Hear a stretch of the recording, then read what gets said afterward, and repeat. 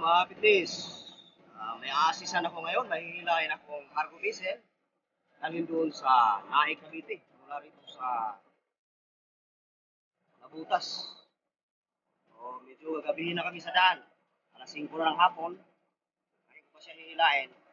Ilabas dito sa pattern ng tapos pag nakalabas na, yung tuwing na doon sa papuntang Naik. Wait, wait, bataan, wait. Ka, bataan, loud and clear. Yung assist natin na kasama na maghila sa likuran. Yun yung maliit na skip boot.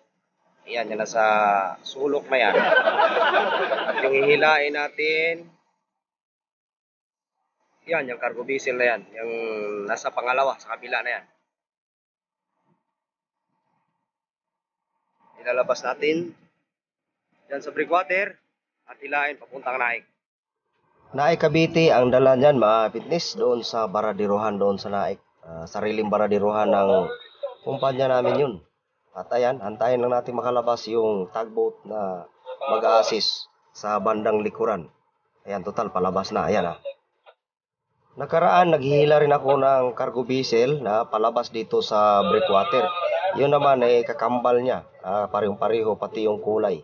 Pagka kulay green kasi, ah, cargos yan. Pagka orange naman, mga tanker. So ito, ah, panibagong green na naman ang kulay. Ah, hindi ito papuntang biyahe, kundi ah, ihahatid natin ito doon sa Baradirohan. Ida-dry dock ng ah, cargo vessel na ito, ida-dry dock na. So ito, ang ah, kasama nating mag-assist. Ah, hihilain ko ito mamaya sa bandang harapan at pag ah, lumagpas na yung kanyang likuran dito sa kulay orange na tanker na ito, saka sasabit itong assist boat sa bandang likuran. Trabaho nito ay pigil sa hila natin. Pag ah, lumiko tayo dyan sa may lagusan, medyo masikip kasi at mapaliko pa, ah, kailangan mapigilan niya yun. Kasi baka di natin maipaling agad, makasagi tayo ng mga ibang naka-parking na mga sasakyang pandagat dyan sa bandang lag- la- lagusan. So sa pagkakataong ito, ito na, atras na tayo at ipipwesto na natin ang ating pupa o kaya ah, likurang bahagi sa pruwa naman o unahang bahagi ng cargo vessel na hihilain natin. At nandun na ng tropa, nakahanda na. Habang abala tayo sa maniobrada mga fitness ay abala rin ang crew ng barkong yan sa pagbabawas ng mooring line o mga lubid na nakakonekta dyan sa dinidikitan lang kulay orange na barko din. So mag-move na tayo ah, slow astern o atras na dahan-dahan.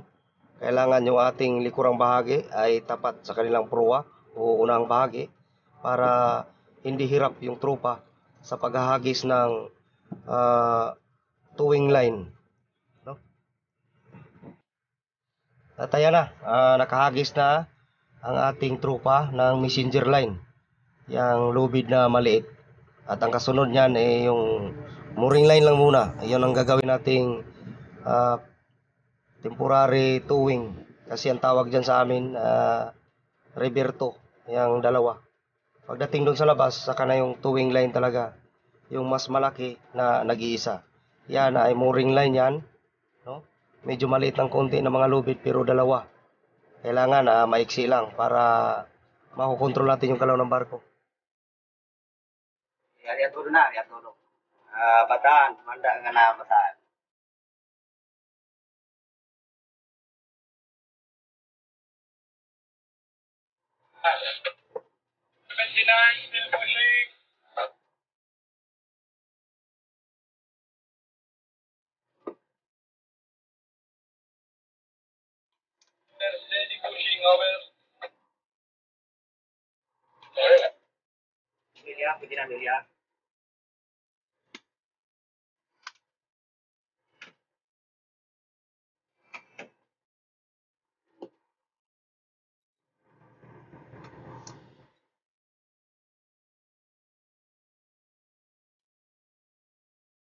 Pwede na Milya. Pwede na, Amelia. Pwede na. Kaya ka pa, ano, kanina? Ah, birang ka. Wala na, kaya kaya kanina. So ayan, ah, katatapos lang natin mag-communicate doon sa kapitan ng barko, ah, nakatodo area na ang kanyang mooring line o ang kanyang mga lubid. Sa pagkakataong ito ay ah, dahan-dahan tayong mag-abanti para maunat-unat natin yung ating ah, river towing line habang nagbibira siya ng angkla. Dito, ayan, ah, tuloy-tuloy ang kanyang paghatak ng angkla. Yang ganyang posisyon ng angkla ay nasa 90% na yan ang nahihila. So 10% na lang ang kapit niyan. Pag yan ay umangat na, ah, totally heave up na, ah, magtudo abanti na tayo. Ah, sa ngayon, minor-minor lang muna, alalayan, at, alalayan natin ang pag-abanti niya. Totally ah, anchor secured na ang barko.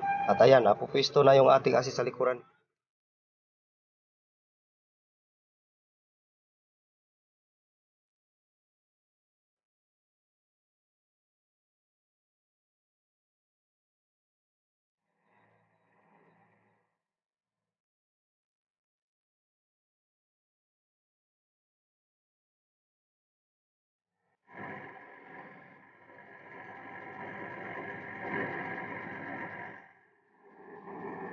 Ayan, ah, magtakip silim na nang tayo'y makalabas talaga sa breakwater. At dito, nakatuwing na tayo. So, gabi na mga fitness. Ayan yung Ruas Boulevard. ah, at saka yung buong Maynila, ayan, kitang-kita. Nasa likuran yung barko. Ah, naka 100 meter lang yung kanyang tuwing o paghila. Ang ita namin sa Naik Cavite o yung aming estimated time of arrival ay mga hating gabi o magmamadling araw na. Laglag angkla muna kami doon bago makipag-communicate sa dry dock bukas.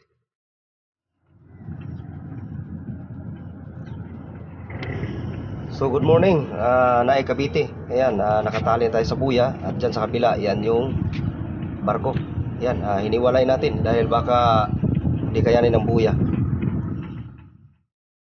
Sa pagkakataong ito ay tumawag na sa atin ang dockmaster o yung pinakamataas na tao dyan sa Baradiruhan, sa dry dock.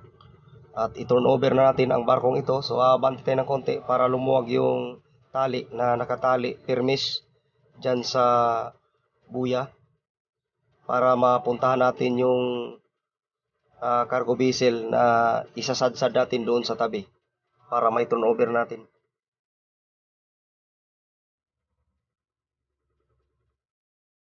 Ayan, ah, sa tagpong ito mga fitness, ah, dahan-dahan tayong umabante palapit doon sa cargo vessel na hinila natin. ah, na ihatid natin dito sa dry dock. Yan, ah, dahan-dahan lang ang abante natin dahil ah, di naman kalayuan at saka nagpe-prepare, na, nagpe-prepare din tayo ng posisyon para sa ating side assist sa kanya. Ang tawag dito eh dito sa Inter Island, yung tawag dito eh kilik, no? Kilikin natin siya pabante papunta doon sa mababaw na bahagi para talagang masadsad siya at yung baradiruhan naman ang bahala sa kanya kung paano siya iaangat. Ayan, aabante lang tayo. Ayan, yung nasa harapan eh si Chief Mate yan, ah, walang damit. Ah, ganyan kami rito pag eh, hindi stricto yung charterer, ah, parang nasa bahay lang kami. Pero pag ah, stricto ang charterer, saka namin isusuot yung issue sa amin na ah, safety shoes at saka coverall. Ah, di pwedeng uh, lagi naka-coverall dahil yung unit natin hindi aircon, oh, sobrang init. Kaya yan, kaya si Chief Mate ah kagigising lang yan, may araw na kaya mainit, ah, nakahubad siya. Walang naka-coverall sa kanila. So anyway, ayan, ah pwesto na tayo dito sa kaniyang port side o sa kaliwang bahagi.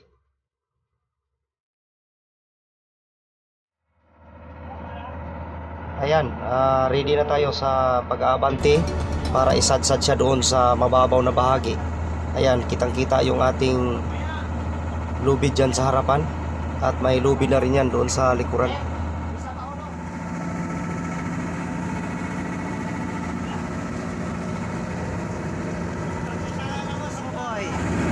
Kaway Diyos boy.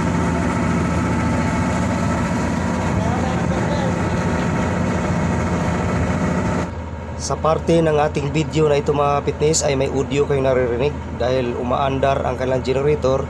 Naghahantay pa tayo ng signal ng kapitan ng barko kung abante na ba tayo o hindi dahil sa kasalukuyan ay nagdibalasting sila o nagbabawas ng ah, tubig na nagsilbing pabigat ng barkong ito. Ah, lubog pa ito kaya tanggalan natin yung tubig para lumutang. Ginagawa ko ng allowance baka tumama sa pension. Para sige, ano lang si Tarlac yan. Kaya niya mamaya yan na yan, sige, sige, tayo. Sige po, ma'am, salamat. Yeah. Malayo pa lang ah, master ha, tumbok na yan master kasi bigla lang tayo hihinto mamaya dahil upo tayo sa buhangin pareho. Okay, tanong na, ano to, Robert? Sa kapangin nila? Sir, ano lang yan, malayo ka sa tabi niyan. Ah, lagyan pa ng patayan dyan sa buwa mo. Lagyan ng mga balon bago hilain. Ah, Vista Marin, Vista Marin, Tarlac. Vista Marin, Tarlac. Vista Marin, Tarlac. Ah, sir, ah, first time si Kapitan ha, first time. Ah, okay po, okay po. Tarlac, medyo kabig kayo. Kaya tayo starboard. Ah, starboard tayo konti kasi mababaw dyan banda sa may train center. Kung nga ng ilog, mababaw. Yeah, sige na, pwede. Taibot na, starboard. Taibot. Amelia, Amelia. Teka, basta Amelia. Handa na lang ng tali. Alin namin? Ah, handa na lang ko. Eh, kahit sila yung tali namin, hindi ba? Yeah, handa na lang ko. Handa na lang. Eh, meron na dito. Sige, paibot pa. Paibot pa, Tarlac. Paibot pa.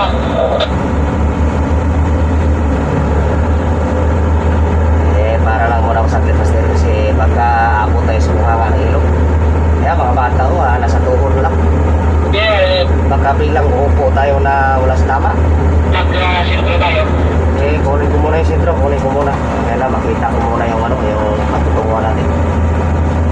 Pero sa Pampanga City pa, starboard pa. Eh, medyo malaki-laki pa paibot sa starboard. Eh, atrasan ko muna, atrasan. Pero test mo na para maka-dulo. Yan, pwede na yan, pwede na yan, sentro na yan. Yan ba, vista, vista, vista. Basta, okay na ba ito? Posisyon namin. Vista, Tarlac. Tarlac. Ah, good. Ano, diretso ko na to, diretso ko na to. Sino? Diretso na. Eh, diretso. Eh. No to left, no to right na to ha, midship na to ha. Zero Pampanga City.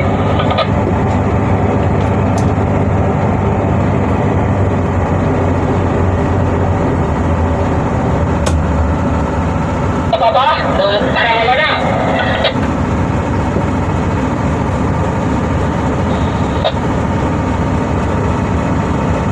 Tarlac. Go. Ah, set-set niya lang Tarlac. Yes sir, yes sir, yes sir. Eh, namamabang kita. Sige. Eh, tuloy pa. Eh,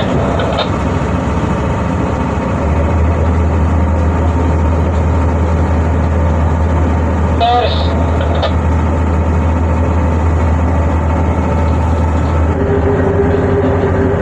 Ito, parang dito na.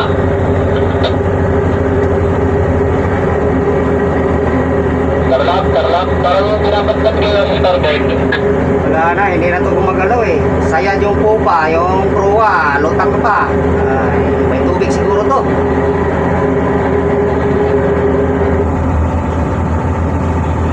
Wala na, hindi na ako umuusad, hindi na ako umuusad. Ma, ano pa to, malalim yung drop niya sa pupa, yung proa niya, lutang pa. Oo, ang ano namin, may tubig pa eh, yung rudder. Eh, dapat eh, inubos yan master. Kasi tingnan mo yung proa, pinapatpat yung proa, yung pupa natin, umupo na. Hindi, hindi ba ano yung exciting? Ito ka, sige pa ka pa, para lang muna, para lang muna. Eh, wala, di na kaya. 0-0 na ito, 0-0, pero gumagalaw yung proa niya. Ano, naka Katsak.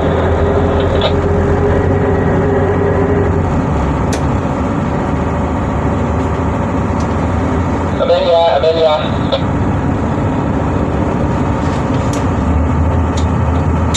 Amelia.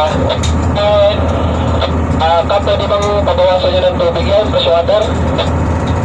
Wala. Kunti lang yung ano namin, fresh water. Hindi nga kasi ako isang araw siguro eh. Ibalas po sir sa bottom.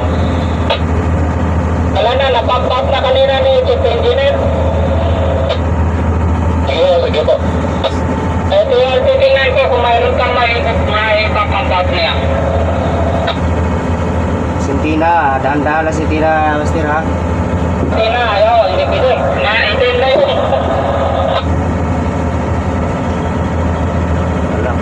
pruwa. Oh. Eh, bagay, report natin kagabi, 1.7, 2.7, ah, isang meter. Isang metro ang diferensya, Bista. Tayo, okay po. Kaya, uh, pa, palabara lang ang natali.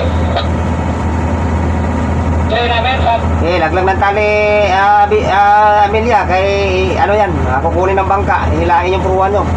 tali sa tawa. Oo, baka abutan tayo ng paghipas niyan. Lala, hindi na, ano yan, hindi na mapira yan. Paano ka pa nakakla para hindi ka na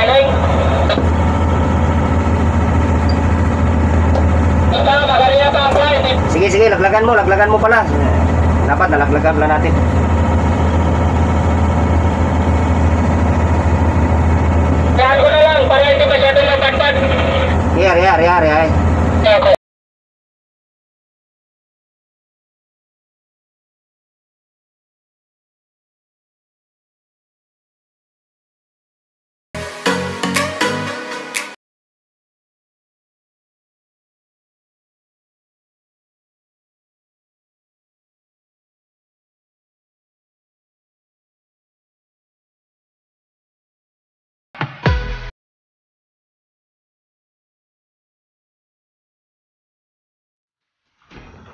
Okay na sila mga kapitnis. Ah, double check na lang natin. Ang kanilang lubid ay naidala na doon sa tabi. Kinuha ng bangka kanina at naipirmis na doon sa tabi. So naghahantay lang ito sila ng totally low tide para makabitan sila ng pad eye sa kanilang parting bulbous bow ito sa unahan at hihilain naman ng winds papunta doon sa tabi.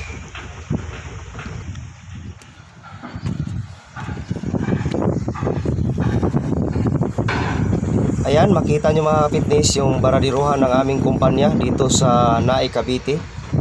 Ayan, ah, napakaraming ah, nakabaradiro pero may bakante pa para dito sa barko na ito. Medyo ito yung inaalala ko kanina, luma na yung mga lubid nila sa bagay pabaradiro na kasi kaya walang bago. At dyan naman sa kanyang kanang bahagi, ah, kaliwang bahagi pala. Yan ay training center, no? Katabi at yan ang pagitan ng training center at ng dry dock ay yung ilog.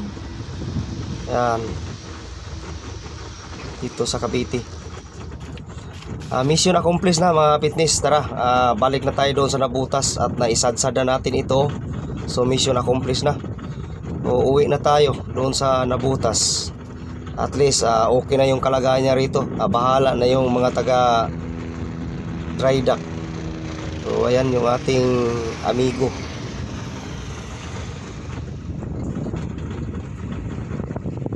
So pagbaba natin mamaya mga fitness ay ipapull out na natin ang lubid na yan Mga lubid na yan at ah, aalis na tayo At sa tagpong ito mga kapitnis, iiwanan na natin ang barkong yan. At kung sakali mang tayo pa rin ang mag-assist niyan o kukuha ah, sa pagbaba niya mula dry dock, ah, inaasahan nating bago na yan tingnan. Bagong pintura at saka yung mga mahinang bahagi ay siguradong napalitan ng matibay. Yung kanyang propeller, bubunutin din yan, i-condition pati yung kanyang mga machinery. Kaya pagbaba niyan, kondisyon na kondisyon